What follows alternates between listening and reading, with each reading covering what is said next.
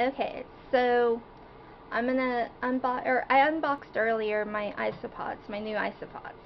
And one of the ones I got was Porcelli, Porcelli dilatatus, giant canyon. And so now I'm gonna put them in a spare Exo Terra I have. I've had this set up for a while. It was in the garage because I don't even remember what I had in there.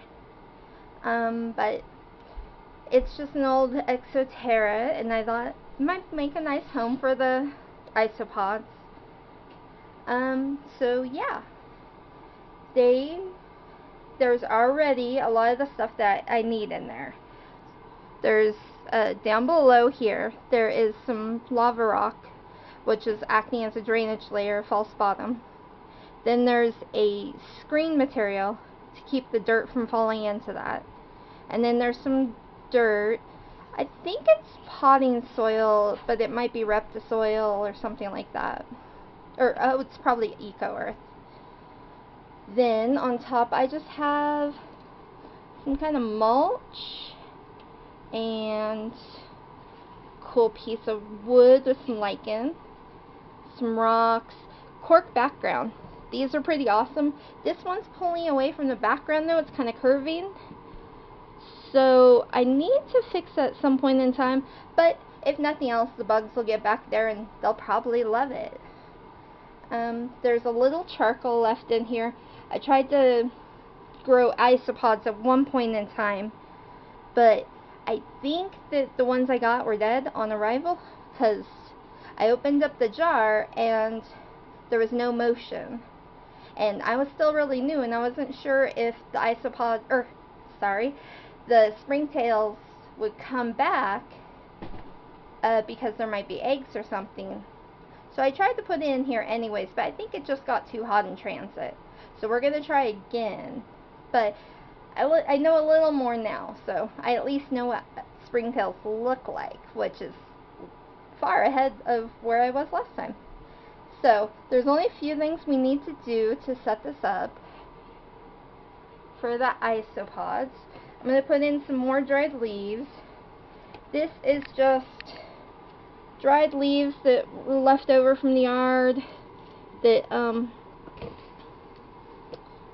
we raked up and saved and put in a bag and normally I would sterilize it but this has been sitting around for forever so it can degrade and I doubt there's anything still alive in there. It's been a really long time. So and normally I'd put way more le dead leaves in there. There needs to be a lot of dead leaves. But they're still in transit. The ones I ordered. So, for now, this is what they get.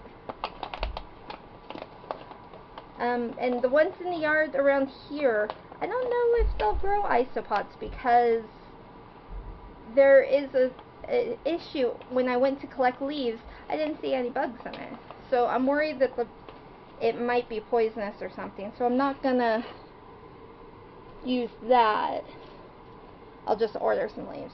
So now I'm putting in sphagnum moss. This is moss I got from Josh's Frogs, but it's all over. It's at most garden centers. You can get it from Amazon. You can get it wherever.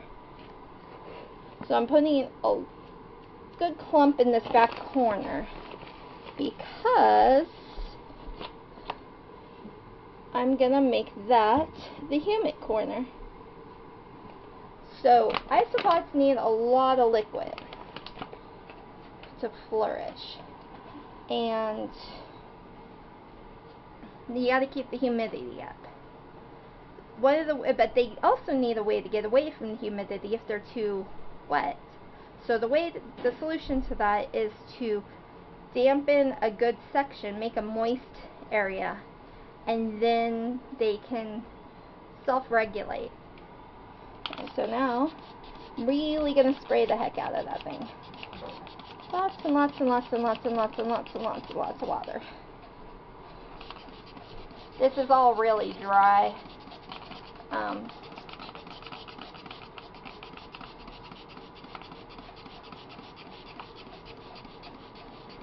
Although, You know, now I'm getting that awesome smell, like when you wet soil. I always love that. What is the word? Now I can't remember. If you remember, write it down below, because it's going to bug me until I know. There's a term for when soil's wet and then it gives off that, off that really awesome smell.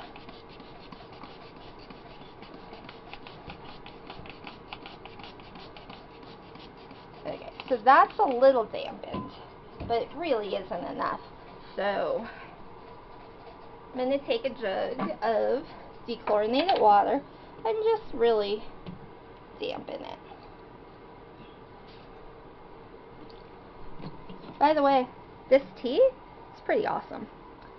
It's uh, almost tastes like homemade. So, this will ruin the look, but I'm also going to put an egg carton in here so that they can go from the wet side to the dry side which I like this uh, this piece of wood. I'm going to put it up here. What do you do with those twigs and leaves?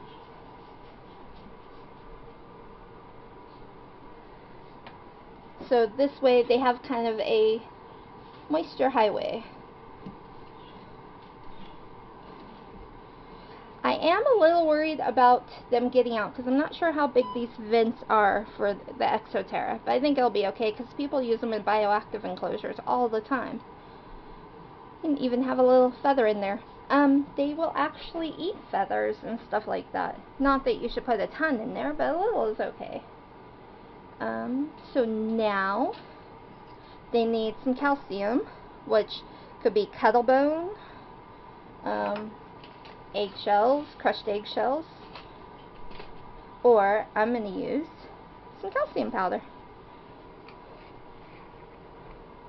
I'm going to put cuttlebones in at a later time, but I don't have them right this second, or a bunch right this second, so I got to go pick some up. But nice little puddle right here so I can keep an eye on it. And when they eat it all, then I know I can put more in there.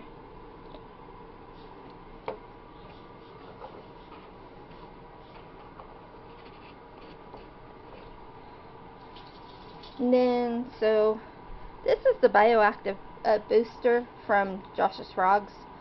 Not sure exactly how great it is, but it's supposed to help, so what the heck. I'm going to put a sprinkle of that in there. Can't hurt. I think it's like bacteria that helps seed the aquarium. Ooh, and that's dusty. Don't do that where there's a fan wet that in there.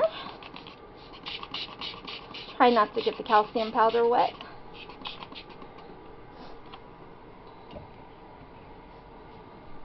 So, I'm also going to get give them a little food. Since I'm going to put springtails in here as well, I'm going to put some nutritional yeast, brewer's yeast kind of thing in there. And the springtails really like that. But they only need a tiny amount.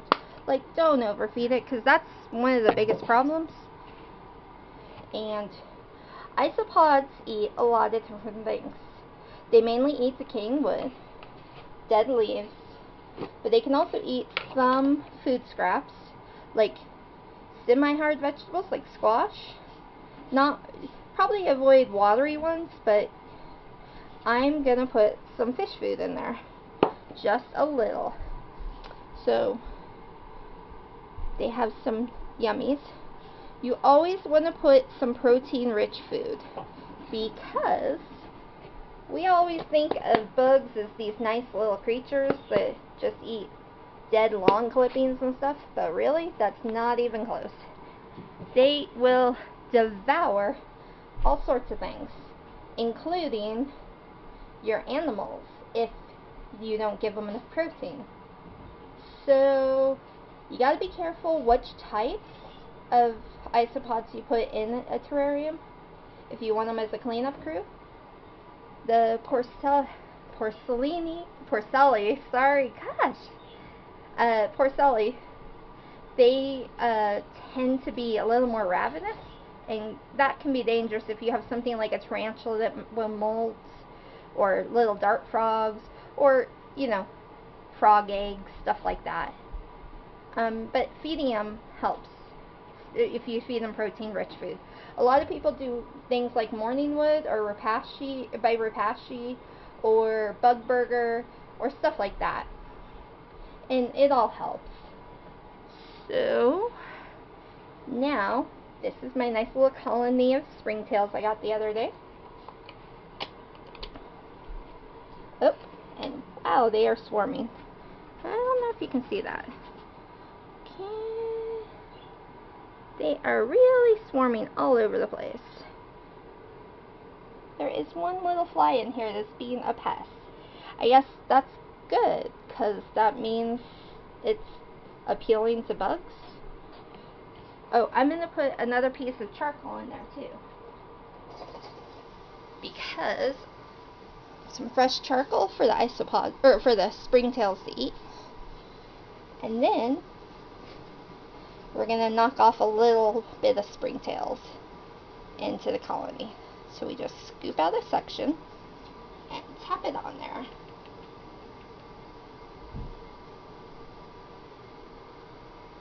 And normally I'd put more in there, but I only have the one colony right now. And I've got to make six ice isopod containers, plus the bioactive uh, terrarium, vivarium actually, for my ball python.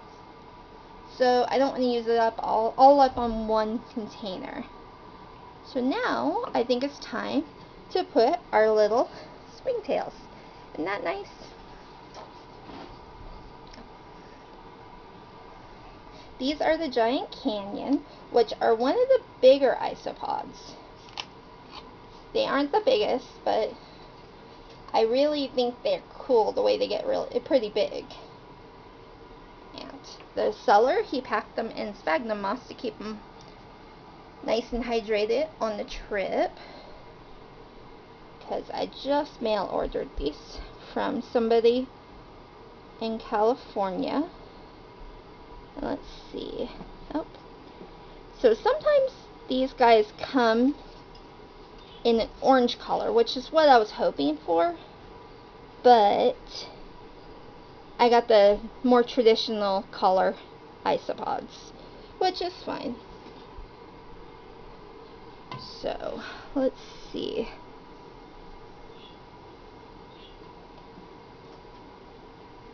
They're pretty cute, huh?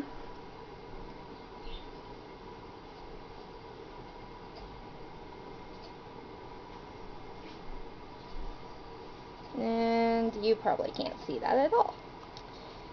Sorry. I need to get a macro lens so that I can see stuff like this. Because really, they're really cool looking.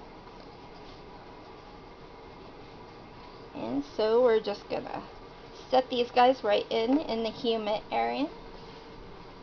So they have a nice little setup there. Oh, and let's see. Can you see that? Still in the container?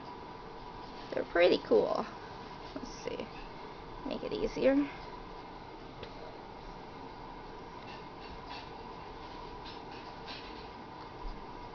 They try to bury themselves. These aren't the most visible of isopods. They hide a lot. But they should be pretty cool. There you go, guys. If you're seeding a large container with a lot of isopods, you might want to put them in different places so that they can spread out a little more because else they might form a little clump.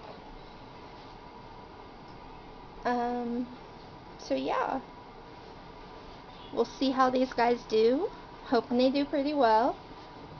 And one thing to always remember is to put name tags. Can you see that down below? Let's see. Let me lower this a little.